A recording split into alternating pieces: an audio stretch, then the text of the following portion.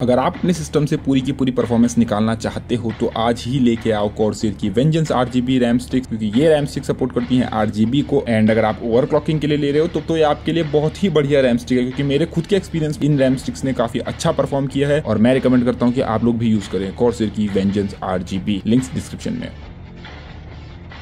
Hello guys welcome back to PC वाली YouTube channel and हम सभी जानते हैं कि राइजन को फास्ट रैम पसंद है लो लेटेंसी वाली रैम पसंद है। यानी कि अगर आप एक राइजन राइजन सिस्टम यूज़ करते हो, चाहे वो फ़र्स्ट जेन राइजन हो, चाहे वो सेकंड जेन राइजन हो, चाहे वो थर्ड जेन लेटेस्ट राइजन हो, आप चाहोगे कि आपके पास एक फास्ट रैम हो लो लेटेंसी वाली रैम हो, लेकिन हर कोई एक फास्ट रैम अफोर्ड नहीं कर सकता। हर कोई 3600 मेगाहर्ट्ज की रैम 37, 33, 3800 मेगाहर्ट्ज की रैम अफोर्ड नहीं कर सकता। तो हम लेते हैं 3200 मेगाहर्ट्ज की रैम 3000 मेगाहर्ट्ज की रैम कम फ्रीक्वेंसी वाली। लेकिन हम जानते हैं कि हम उस कम फ्रीक्वेंसी वाली रैम को भी ओवरक्लॉक कर सकते हैं। और ओवरक्लॉक करने के बाद जब वो एक फास्ट वाली रैम बन जाएगी वो ओवरक्लॉक होकर मान लो आपने थ्री थाउज़ेंड वाली रैम को जो है वो three thousand four hundred megahertz overclock कर लिया three thousand six hundred megahertz overclock कर लिया ठीक है? तो वो एक फास्ट रैम बन गई। यानी कि अब आप अपने राइजन सिस्टम से पूरी परफॉर्मेंस निकाल सकते हो। लेकिन बहुत सारे लोगों को रैम ओवरक्लॉकिंग नहीं आती। ठीक है? बहुत सारे लोगों को आती है। अब ये एक एक मैं ये ऐसी वीडियो बनाना चाहता था कि जिसमें जो कोई नूब से भी नूब बंदा हो, वो भी अपनी रैम ओवरक्लॉक कर पाए। क्योंकि देखो, भले ही कोई भी बंदा हो, वो A three twenty motherboard use कर रहा हो, वो बी थ्री फिफ्टी यूज़ कर रहा हो बी फोर फिफ्टी कर रहा हो एक्स थ्री सेवेंटी कर रहा हो एक्स फोर सेवेंटी कर रहा हो एक्स फाइव सेवेंटी कर रहा हो। It just works everything just works global elimination just works. Ambient occlusion just works. Just work. Everything just works because ray tracing just works. It just works.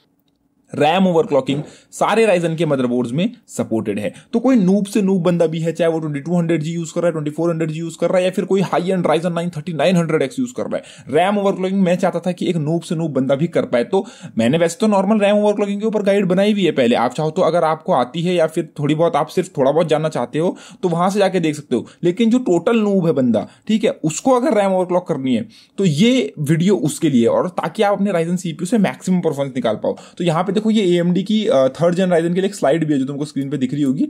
इसमें लिखा हुआ है कि मतलब अगर तुम्हें सबसे लो लेटेंसी चाहिए तो तुम्हें thirty seven thirty three C L seventeen में तुम्हें sixty seven around sixty seven nano seconds की लेटेंसी देखने को मिलेगी one one versus one mode में। ठीक है?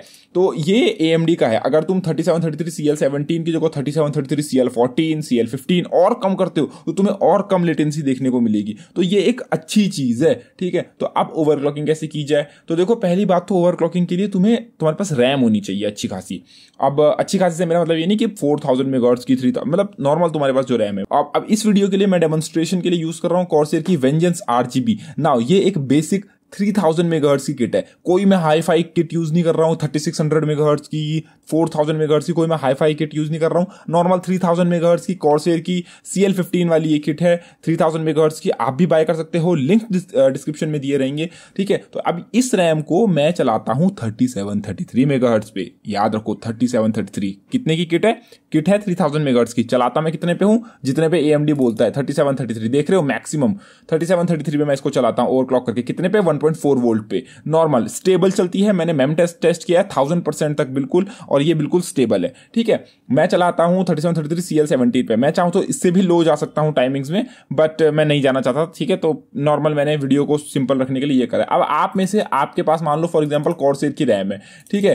तो मैं आपको रिकमेंड करूँगा ये सॉफ्टवेयर जिसका कि मैं आपको लिंक जो है वो डिस्क्रिप्शन में दे दूँगा। इसका नाम है राइजन डी रैम कैलकुलेटर ना, इससे क्या होता है? देखो, पहले इसको ओपन कर लेते हैं। इसकी जिप फ़ाइल का लिंक मैं डिस्क्रिप्शन में दे दूँगा, ठीक है? जैसे ही मैं लिंक इसका डिस्क्रिप्शन में दूँगा, आप इसको डाउनलोड कर लेना एक्सट्रैक्ट कर लेना किसी फोल्डर में, जैसे आप नॉर्मल करते ही हो। तो इस टाइप का कुछ जो है वो आपके पास खुलेगा सॉफ्टवेयर ना इसके साथ देखो, आपको मेम टेस्ट भी पहले से ही मिलता है। अगर आप कोई रैम ओवरक्लॉकिंग करते हो तो आपको उसके साथ मेम टेस्ट मिलता है, ताकि आप अपनी रैम को टेस्ट कर सको कि वो स्टेबल है या नहीं है। नाउ अब यहाँ पे देखो, इसमें कुछ चीज़ें हैं जो मैं आपको समझा देता हूँ। ना देखो, मैं यूज़ कर रहा हूँ second gen Ryzen normal easy बात है तो मैं सेकंड जेन राइजन पे चूज़ करूँगा।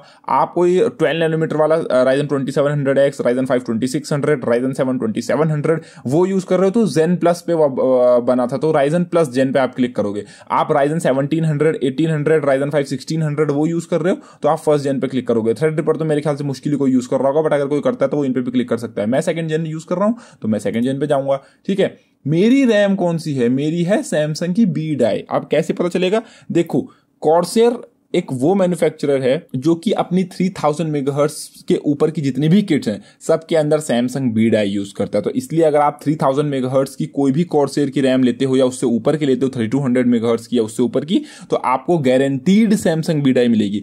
आप कैसे चेक कर सकते हो कि कॉर्सेर की रैम जो आपने खरीदी है, वो सैमसंग बी डाई है? पीछे जाके उसके देखो रैम के पीछे उसमें लिखा होगा स्टिकर में वर्जन नंबर अगर वो वर्जन नंबर 4.31 है तो आपकी सैमसंग बी डाई है। नाउ सैमसंग बी डाई का जो है वो प्रोडक्शन अब रुक चुका है तो हो सकता है आपको अब बी डाई देखने को ना मिले। इससे जल्द से जल्द अपने लिए कॉर्सेर की रैम खरीद लो। तो मैं सेलेक्ट कर लेता हूँ यहाँ पे सैमसंग बी डाई मेरी सैमसंग बी डाई है मेरे पास कॉर्सेर की एलपीएक्स वाली जो आपको स्क्रीन पर भी दिख रही है, ये वाली जो रैम है, ये ट्वेंटी फोर हंड्रेड की है। ये हाईनिक्स की एमएफआर किट है, ठीक है? ये एमएफआर किट है तो वो चार जीबी की है, चौबीस सौ वाली। लेकिन अगर ये वाली जो थ्री थाउज़ेंड मेगार्ट्स की है बी डाई तो मैं बी डाई पे सेलेक्ट कर रहा हूँ। ठीक है? प्रोफ़ाइल वर्जन मैनुअल अब देखो, मैं अपनी रैम चलाना चाहता हूँ thirty seven thirty three megahertz पे।